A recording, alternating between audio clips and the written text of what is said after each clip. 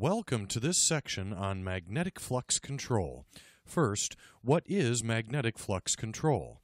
In this course, magnetic flux control is a generic term for modification of induction coil magnetic flux by means of installation of magnetic templates or magnetic flux controllers. Magnetic flux control, due to application of non magnetic bodies, or Faraday rings, also known as flux robbers, is not considered here. Magnetic controllers may significantly change magnetic field pattern and coil parameters. Their application must be considered as part of the whole induction system design. Because controllers play different roles, like magnetic flux concentration, shielding, and distribution, they are also called concentrators, cores, or shields, depending on application.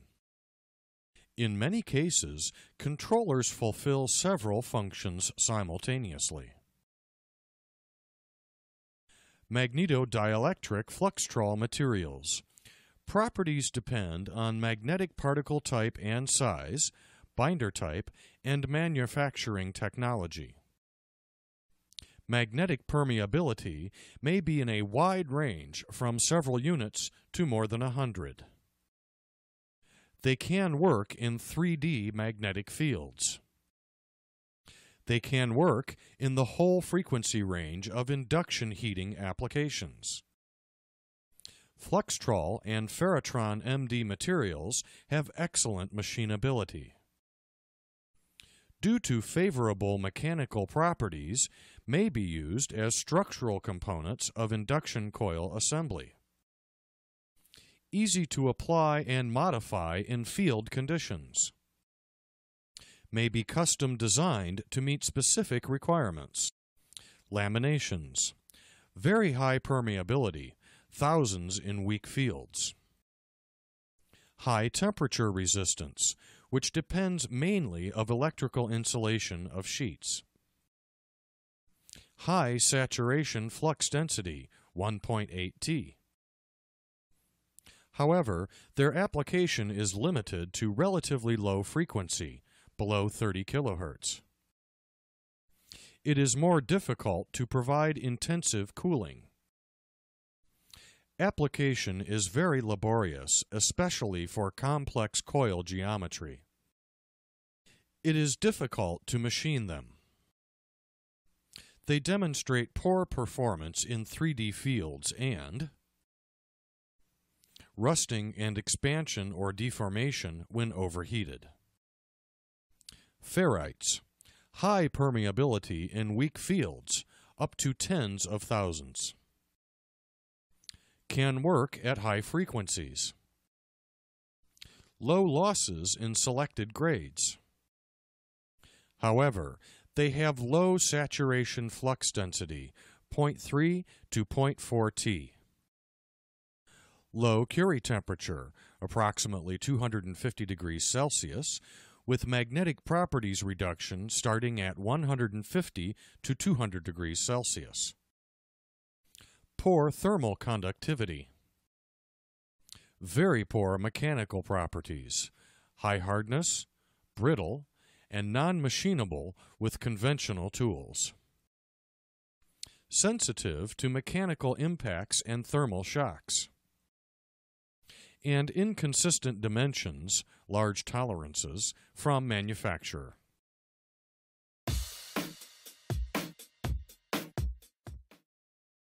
General guidelines for selecting the right type of concentrator material. Determine requirements and conditions for a given application based on induction coil geometry, magnetic properties of material, frequency, power, and duty cycle, lifetime of inductor, time to get material. Time to manufacture a coil. Cost of materials. Cost of material application. And ability to reproduce coil easily. Conclusions Magnetic flux control is an important part of optimal design of induction coils.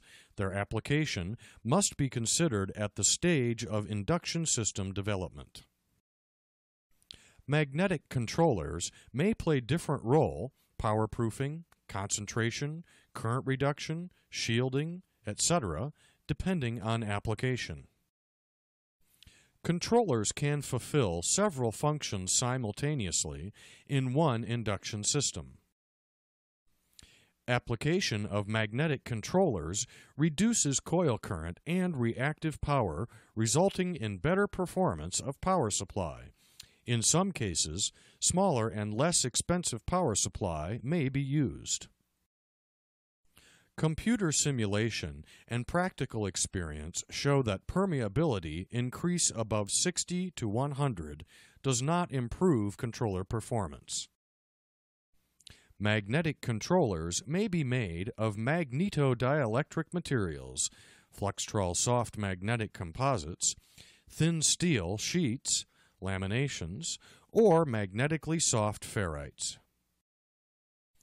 Laminations may not be used at high frequency due to big losses and poor performance in 3D magnetic field. Ferrites have low saturation flux density, low Curie point, poor thermal and mechanical characteristics. Magnetodielectric materials can provide a combination of magnetic, electrical, thermal, and mechanical properties favorable for induction heating applications. This concludes this section. Thank you for viewing Basics of Magnetic Flux Control in Induction Systems.